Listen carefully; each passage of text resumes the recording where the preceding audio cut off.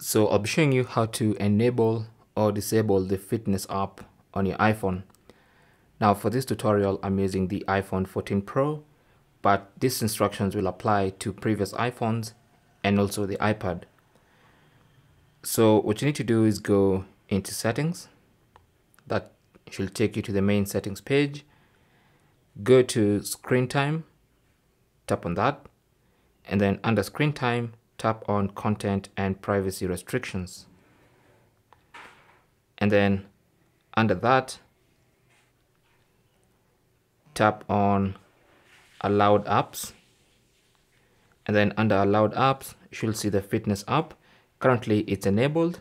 To disable, simply tap on that toggle button to turn it off.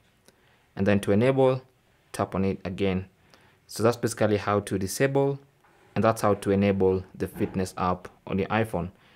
Once you choose the setting you want, just hit the back button all the way back to the home screen.